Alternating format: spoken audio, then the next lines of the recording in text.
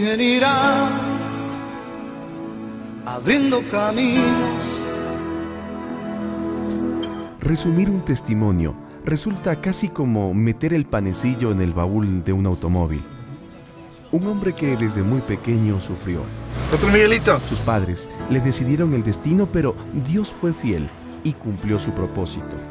El pastor Miguel Carvajal es uno de los héroes de la fe que ha dejado huella en Ecuador. Con sus 77 años de vida, hay muchas historias y lecciones que me han fortalecido. Hijo de una familia riobambeña, desde que sufrió la muerte de su primer hermano, el pequeño Miguel fue prácticamente enclaustrado en su casa hasta que cumplió 12 años. Allí lo trajeron a Quito, al convento de Guápulo, para convertirse en un sacerdote franciscano. Bueno, los ideales de los papás a esa edad vienen a ser como los nuestros también. Entonces yo sí pensaba que era lo, mejor y tenía siempre esa perspectiva, ¿cuándo? ¿Cuándo? parecía que era muy difícil porque muchos años de estudio de teología, de filosofía, de dogmática, de cuántas cosas. Yo pensé que nunca iba a alcanzar, pero como no hay plazo que no se cumpla, al final llegué a ser un sacerdote ahí en ese templo, seguramente todos conocen San Francisco. Yo soy Miguel Carvajal Díaz. Yo estudié en este convento por varios años para prepararme para ser sacerdote franciscano. Tenía grandes inquietudes, una necesidad muy grande de buscar a Dios, de tener una respuesta sobre los dogmas, pero no la encontraba. Pero gracias a Dios que había alguien que me hablara del Evangelio y yo finalmente le recibí al Señor Jesucristo como mi Salvador personal. Salí de aquí y ahora estoy predicando el Evangelio del Señor Jesucristo. El día de la ordenación sacerdotal estábamos todos tendidos boca abajo en ese altar. El vino el obispo, puso el pie sobre la nuca y luego hizo pues un, como una invocación Tú ya no vivirás para ti mismo ni para tu familia, tú vivirás ahora siempre para servir a la iglesia. Todos tus intereses tienes que renunciar y tú, inclusive me cambiaron de nombre. Ya no me llamaba Miguel Carvajal, sino Fray Fernando. Bueno, el apellido sí, sí conservaba. Y ahí vino la prueba ¿Qué se siente uno siendo sacerdote? A pesar que yo estaba en el convento, pero había muchas inquietudes dentro de mi corazón. Una de esas comenzó en una clase de dogmática. Dogmática es pues las doctrinas de la Iglesia Católica que no necesariamente están en la Biblia, pero que han sido emitidas por los papas, por los concilios, y este profesor se molestó en poner en un pizarrón muy grande cada uno de los dogmas. Estaba el dogma del purgatorio, dogma de la Inmaculada Concepción, el dogma de la infabilidad del Papa. Llenó todo el pizarrón de los dogmas, puso los años en el que había sido emitido y lo que significaba. Y luego nos hizo una pregunta, ¿qué pasaría con la Iglesia Católica si se anularan todos estos dogmas? Qué pregunta. La verdad que todos teníamos miedo de contestar porque ahí era muy rígida la enseñanza. Magister Dixit, pues el maestro dice, y eso hay que aceptar. Pero él mismo nos dio contestando y dijo, si abolimos los dogmas quedaríamos en nada. Entonces ese fue el primer impacto en mi vida.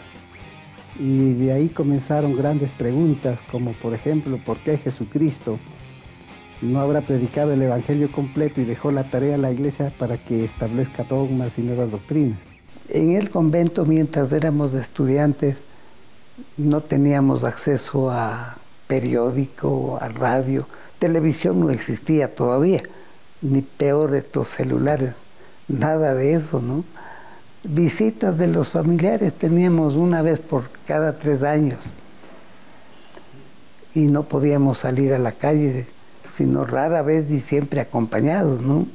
Entonces un compañero nos enseñó a hacer un pequeño receptor, simplemente era una bobina que nosotros mismos lo hacíamos. Con una piedrita que hay en los, los ríos del oriente, llaman pirita o soroche, una aguja, y eso era todo, ¿no? Ah, bueno, el audífono en una caja de, de cinta de escribir, era solamente una pequeña bobina y una latita que vibraba y se oía solo una radio, claro. Eh, HCJB era la radio más potente del Ecuador y esa era la única que oía. Se apagaban las luces, sacaba mi aparatito y debajo de las cobijas estaba oyendo. Y pero tanto nos habían preparado para luchar contra las sectas, como decíamos, especialmente contra los evangélicos, porque decían los evangélicos son los más peligrosos, porque ellos abiertamente van a sacar a la gente de la iglesia católica. Entonces tenemos que luchar contra ellos. Y, bueno, decía que nosotros tenemos toda autoridad y poder aún para meterlos presos. Y bueno, pero en el programa decía yo voy a oír qué dicen para yo rebatirles. Pero no oía nada incorrecto, algo en contra de Dios, de la Virgen, de nadie. Eh, simplemente había ánimo, había buen humor, muy bonito, pero yo todavía me decía, ah, pues estos evangélicos, evangelistas como llamábamos, les engaña a la gente hablando así tan bonito, pero cuando ya estén adentro, ahí les han de decir realmente lo que son ellos. Pero voy a conocer esa radio que tiene tanta fama de tanto de tantos instrumentos, tanta modernidad. Y me atreví a ir allá. Salieron a recibirme a unos jóvenes, por supuesto ya algunos han fallecido, otros siguen en el ministerio, ¿no? Lenín de Llanón, Chema Reynoso y otros más. Y me trataron muy bien, me hicieron conocer la emisora, hicieron probar la voz y me dijeron, ¿por qué no hacemos un estudio bíblico? Y así fue que uno de estos tantos días que yo fui, qué raro, no, no habían tenido, habían tenido que salir mis amigos y solo quedó una señorita que era de Costa Rica, pero esta señorita era más uh, decidida, dijo, si no es cuestión de discutir, es cuestión de doblegar el espíritu delante de Dios, arrodíllate aquí y yo voy a hacer una oración, tú repítelo. Pero cuando ella hacía la oración, yo repetía partes y partes no repetía porque no estaba de acuerdo. claro, era otra cosa diferente. No sabía lo que yo estaba haciendo, no, no tenía conciencia de que, de que era un aceptar al Señor, pero algo pasó en aquel día en mi vida. En el convento fui donde el superior a decir, sabe, reverendo padre, yo necesito que, que me pida la Santa Sede dispensas de mis votos de pobreza, de obediencia, de castidad, porque yo más bien quiero salir. Y bueno, me trató un poco fuerte, me dijo que era muy rebelde, que debo hacer más penitencia, y fue una noche que yo arrodillado en mi celda, le grité a Dios como que yo me revelaba. Y yo dije, Señor, si tú existes, dime qué debo hacer. El superior me mandó a un pueblo para hacer lo que decían ejercicios espirituales. En el tiempo que estuve en ese pueblo de Ascasubi, yo dije, no, esta es mi oportunidad para salir. Yo no voy a tener otra oportunidad. Entonces, yo me compré una, una ropa de civil, zapatos, porque solo usaba sandalias y, el día que yo tenía que volver al convento de San Francisco en Quito, eh, a las 4 de la mañana, yo salí huyéndome del convento. Y ya las personas que van a trabajar en agricultura me encontraban, pero en las tinieblas no me reconocía, pero ahí todo el mundo saluda. Y decía, bueno, bueno, buenos días, señor. Sí, buenos días. Y no sabían que yo era el que la noche anterior les estaba haciendo rezar el rosario y la letanía. Vea cómo son las cosas. Llegué a Guayabamba, cogí un bus y llegué a la ciudad de Quito. Ya mis papás ya vivían aquí en esta ciudad. Pero ¿qué piensan que pasó? No, no, no, no aceptaban de ninguna manera, aceptaban que yo saliera del convento. Los 10 años encerrado ahí se me hacía difícil tratar con la gente. Dije un día, así como salí del convento, ya no me voy a ir de mi casa, porque ¿qué hago aquí? Y todos los días tienen que machacarme que regrese al convento. Y así fue. Un día cogí un bus y me fui a dar en la, en la ciudad de Guayaquil. Ni siquiera conocía la ciudad. Llegué, bueno, tenía un poquito de dinero, fue una pensión, se terminó el dinero y ahí sí, ¿qué hago? Cogí mi maleta, me fui a un parque que se llama de las iguanas y dije, no sé, ¿qué voy a hacer? Para colmo, sentía que tenía fiebre, comencé a sudar. Digo, creo que esto ya es el fin, creo que yo voy a regresar a la casa. Bueno, pero yo estaba ahí asistiendo a una iglesia evangélica, pero no me identificaba, porque yo mismo predicaba a la gente que los que se hacen evangelistas es porque les pagan. Pero yo dije, por lo menos voy a despedirme del pastor, ha sido buena gente. Cuando yo le di la mano para despedirme, él sintió que yo tenía fiebre, sudaba demasiado, tenía escalofrío. Dijo, no, así no vale que te vayas. Peor a la sierra. Mejor yo te voy a llevar a la casa de unos hermanos y ahí puedes curarte si quieres te vas, porque aquí a, a, nadie retenemos a la fuerza. Y así fue que llegué a la casa de unos hermanos afroesmeraldeños. La primera inquietud era, ¿cómo vivirán los cristianos? ¿Serán como los demás? No, pues era totalmente diferente. Tenían un amor a Dios, al prójimo tenían una dedicación, una devoción por la palabra de Dios para orar. Imagínense ustedes que un mes que estuve enfermo, ellos me cuidaron gratuitamente. Yo no tenía cómo pagarles. Pero fue ahí que yo encontré a Dios. Ahí en ese lecho con la Biblia. Me parecía algo maravilloso leer la Biblia como yo le decía, estudiábamos la Biblia, pero en latín. Ya no es lo mismo. Pero si ha habido la Biblia en castellano, qué clarito la Biblia, qué lindo, yo no había entendido estas cosas.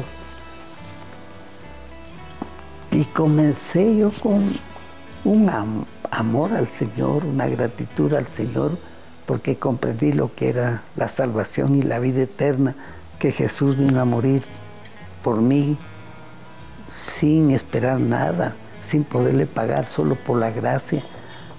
Y apenas yo pude salir, fui donde el pastor y dije, yo quiero hablar a toda la gente lo que Dios ha hecho en mi vida.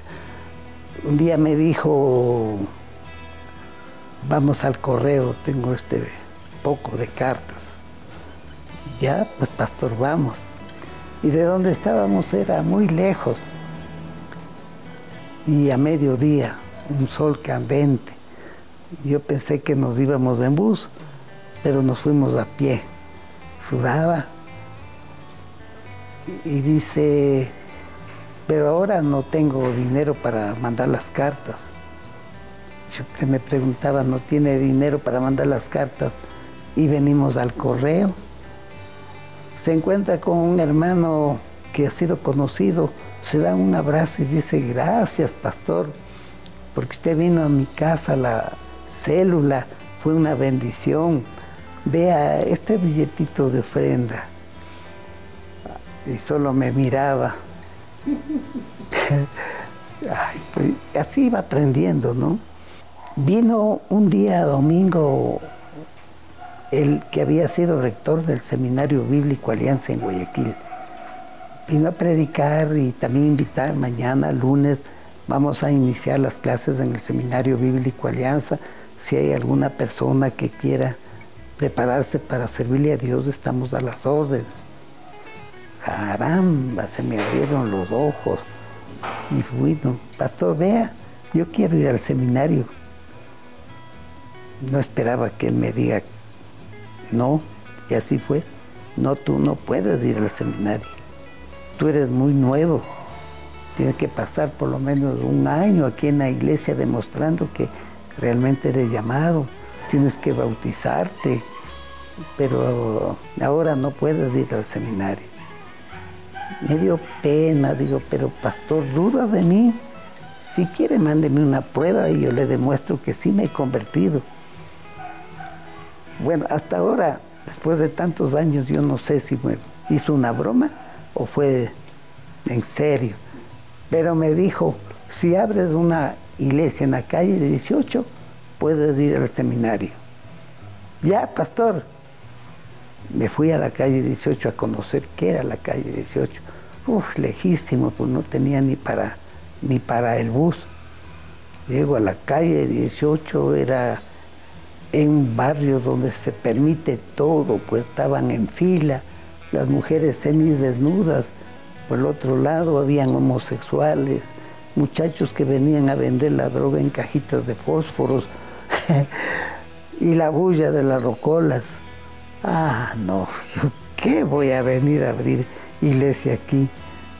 Yo soy tan tímido después de 10 años de, de estar en el convento Ahora, en la noche, yo estuve leyendo precisamente en Primera de Corintios, en el capítulo 2, y me llamó la atención un versículo que dice que la palabra de la cruz es locura para los que se pierden. Loco, eso es lo que yo tengo que ser, porque si voy a predicar como cuerdo no voy a poder. Entonces mi oración aquella noche fue, Señor, hazme loco, Señor, hazme loco, Señor, hazme loco. Y cogí mi Biblia y me fui a la calle 18. Me paré en una esquina y comencé a invitar con mucho comedimiento a la gente. Nadie se acercó, solo una señora de ahí del barrio, de, la vida, dijo, vea, jovencito, aquí no se habla de Dios. Hay otros barrios donde sí le van a escuchar. Aquí hasta le van a matar. Aquí no, no se oye esas cosas. Cerré mi Biblia. Fallé. Fallé. ¿Por qué fallé? Porque no me hice loco. Ahora sí me voy a hacer loco de verdad. Entonces fui a la siguiente esquina donde sí había mucha gente y me hice loco. Estoy loco, estoy loco, estoy loco.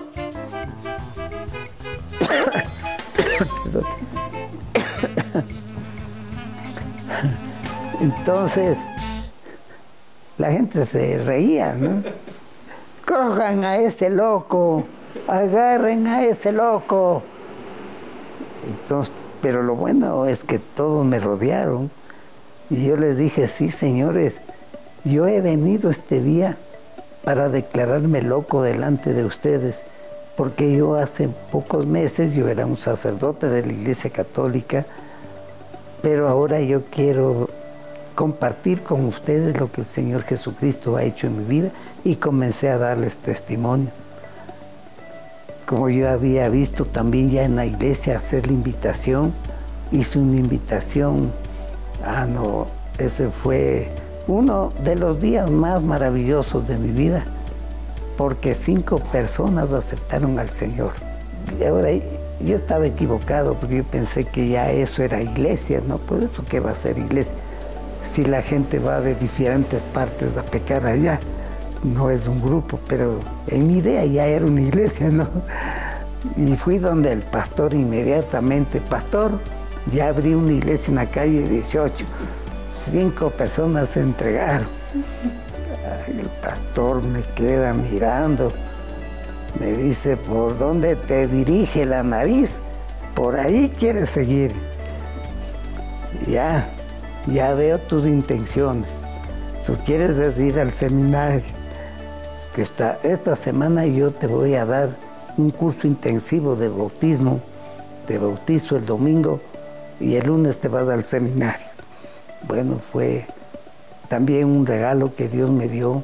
Y yo seguí en la calle 18, pero ahora ya con materiales, aprendí a dar clases de niños, coro de niños, eh, tenía un franelógrafo, ya los niños me conocían, yo comenzaba a cantar y los niños venían de todas las casas, eran tiempos muy lindos. De ellos salió, pongamos una cuota y alquilemos, alquilamos una tienda que está por acá. Qué bien, así fue. Claro, todavía era parte del estero salado, esa casa sobre pilotes, abajo había lodo y habían unos peces que se llaman chalacos, que solo comen los cerdos. Ahí comenzamos la iglesia. Era de ex prostitutas, de ex marihuaneros, de ex asaltantes. Esa era mi congregación. Y habían jorgas de jóvenes, bandas, nos tiraban piedras. En esa casita que era de zinc era un estruendo bárbaro. Nos botaron estiércol. Pero el líder de esa banda justo vivía al frente. Cuando están en jorgas son muy valientes, pero cuando están solitos son mansos. Abrí la puerta y corrí, que no se me escape, y le digo, vente acá, tú tienes un don de ser líder. Todo lo que tú les dices hacen los jóvenes. Pero si tú te entregas al Señor, tú vas a ser el próximo pastor de esta iglesia. Y entramos al, templo y aceptó al Señor, fue al seminario y sucedió. Yo salí de ahí a otra iglesia y él se quedó de pastor. Es que un día, una noche más bien, pasaron los diáconos con el platito para poner la ofrenda. Yo metí la mano en el bolsillo y dije, yo voy a dar todo lo que tenga aquí. Con todo amor, Señor, te pongo en la ofrenda. Después ya eran las 10 de la noche, yo fui a esperar el bus, meto la mano, todo lo que tenía puse en ofrenda. Tenía que coger dos buses para llegar al seminario. ¿Cómo me voy? ¿A quién pido a esta hora? No sé, Señor, tú tienes que llevarme ya venía por ahí el colectivo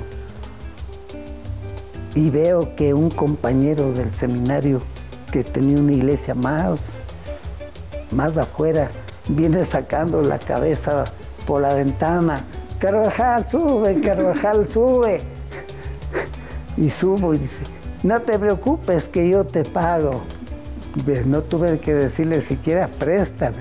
Y llegamos para coger el otro bus, dice, yo mismo te voy a pagar. Gracias, Señor. Cosas así que parecen pequeñitas, pero a uno le deja lecciones permanentes. Y esa ha sido mi vida, ¿no? Depender de Dios.